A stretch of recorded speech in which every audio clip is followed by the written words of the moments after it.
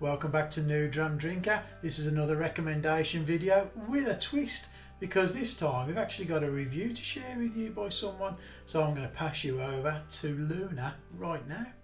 Hi, Luna here. Um, all dressed up Christmassy, as you can see. You might ask why? Well, Auntie Nicky asked around if some people were willing to share a Christmas recommendation, and I thought, well, why not? So here I am. Um, what I have come up with is actually something quite nice, I think. Um, it's this lovely expression here, Scarabus.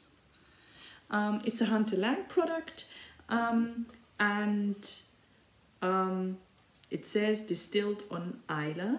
So it is an Islay whiskey matured probably somewhere else and um, it says 46% so possibly unchill filtered we don't know about color the box says nothing about color and here on the back very clever.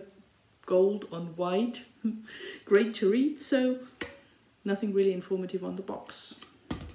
That fell down.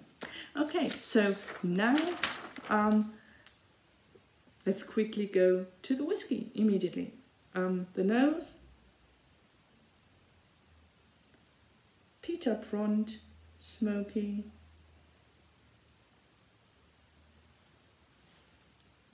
Sweetness, really pleasant.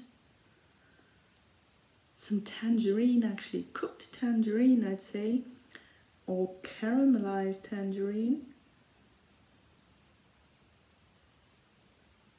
And also a slight brine. I quickly would like to show you the color a bit more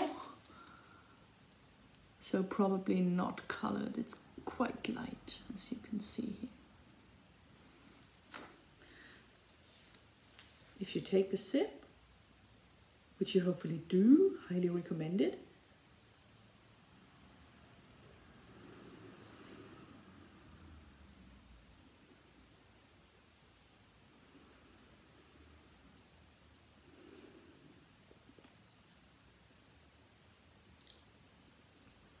pretty much similar sensations. What you get is actually um, the smoke, pretty upfront sweet caramel or toffee, like um, slightly melted caramel in the pan.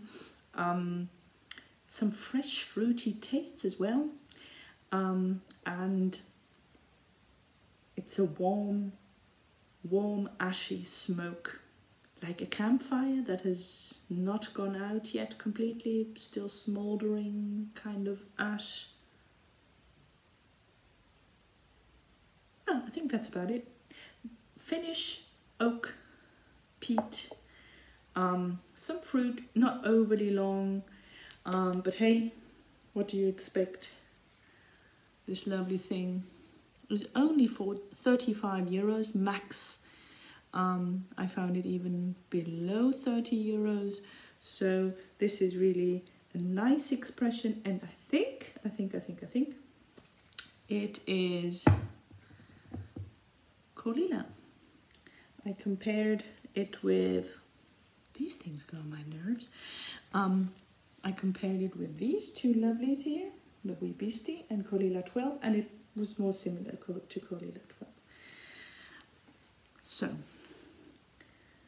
the bottle, actually, I like it. It's really looks artsy with a golden on the dark bottle. There's some nice embossing here. Um, and looks a bit like the spice tree. Um, slightly, I think, the peaty. So, what can I say? 35 euros or less. This is a bargain and um, it's actually quite tasty and it has Christmassy tastes with a tangerine in the background. So now I try to get these things off again and have a nice Christmas. See you all soon and Merry Christmas! Thank you to Luna for that. That was amazing. If it's good enough for her, it's good enough for me, to be honest. So that's going on my Christmas list. Thanks for watching.